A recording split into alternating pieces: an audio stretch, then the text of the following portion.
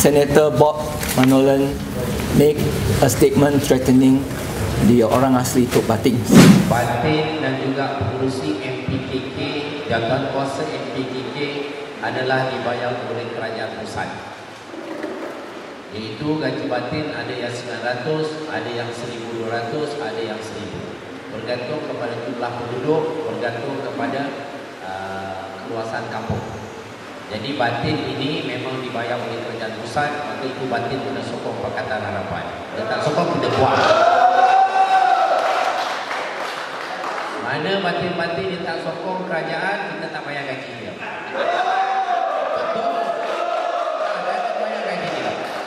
Kita bayar gaji dia tak sokong kita, buat apa kita nak bayar gaji dia? Kik Siang's statement saying that he has checked with DAP leaders and he named Deputy Water and Land Natural Resources Minister Tengku Zulpuri, Bentong MP Wong Tak, Sabah Senator Audrey- Adrian Lasimbang and Ketari Assemblyman Yang Safura Ahmad.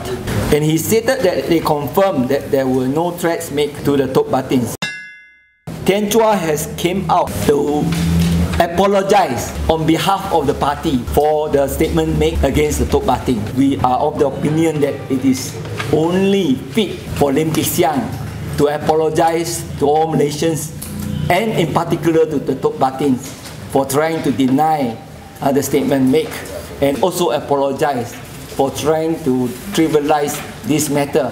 It is not small matter to threaten the orang asli or to bully them into voting the government or DAP candidate. I think firstly, Kishan must apologize for the statement he made and if he had actually been misled by the member of parliament or by the deputy minister or by his state assemblyman, then these leaders must apologize. The new Malaysia is about integrity. The new Malaysia is about not making false statement, not misleading or belittling uh, the minorities. So we call upon uh, an apology to be made and for the words to be retracted.